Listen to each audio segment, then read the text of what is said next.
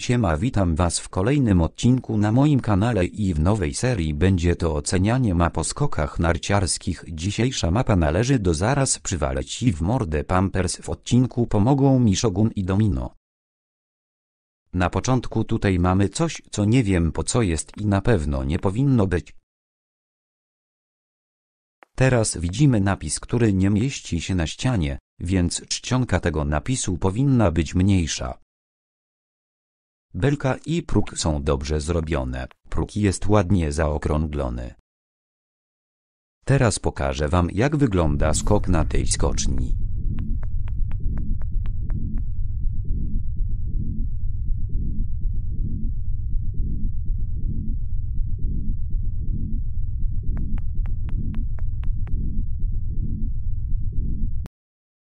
Jeśli chodzi o trybuny to nie powinien być dach na nich, bo nic nie widać.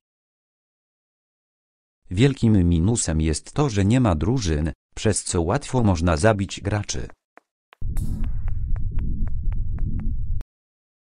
Nad skocznią widzimy flagę norweską, która jest nawet fajna. To coś u góry ze skoczkiem, który nie jest skoczkiem nazywany jako szogun w co niektórych filmach jest całkowicie niepotrzebne. Uważam, że bez tego skocznia byłaby o wiele lepsza. To zostawię bez komentarza. Teleporty są podpisane, ale nie są równo więc można byłoby poprawić ten szczegół. To coś przypominające teczki dla zawodników. Nie powinno tu być a już jak ma być to czemu Ryoyu Kobayashi jest dwa razy i można byłoby to zrobić równiej. I czemu ta choinka wchodzi w tą ścianę?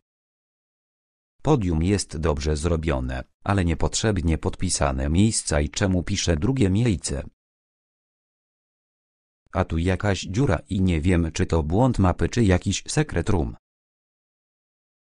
W sumie to tyle z dzisiejszego odcinka, całą mapę oceniam na 5 na 10. Shogun ocenił ją na 4 na 10 a Domino na 6 na 10. Jeśli chcielibyście aby to wasza mapa się znalazła w następnym odcinku to piszcie w komentarzu. Link do tej mapy znajdziecie w opisie.